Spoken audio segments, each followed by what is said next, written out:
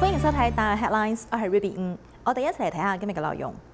In the Philippines, in order to reach herd immunity, team members have been helping at vaccination centers to give shots. Even a few young medical interns along with their team family have shown up to help. Let's take a look. In Quezon City of the Philippines, large-scale vaccination centers are still very busy. TIMA volunteers continue to lend support and have been doing so since April of this year. Grandpa is very, very involved in um.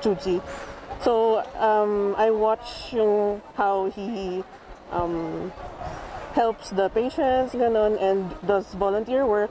A fourth-year medical student, Janine Francis Lay, comes from a family of doctors. Her grandfather is Dr. Leh Siu-chuan, the first seed of TIMA overseas, and Janine's own father is a specialist in ENT.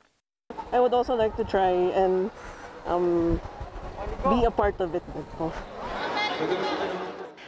Eileen Kwoge, a TIMA nurse, is also hoping to pass on the spirit of Tzu to her only son. Eileen hopes her son can grow within the volunteering spirit. I would like him to, of course, perform good works without uh, expecting something in return. Sa Tzu Chi niya yun makukuha. Isa sa responsibilities natin as human beings is talagang to be uh, of help no to his to our neighbors no.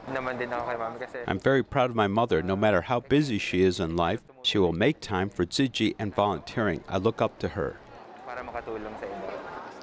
It is hoped the younger generation can follow the footsteps of the older generation so that this medical love is passed on.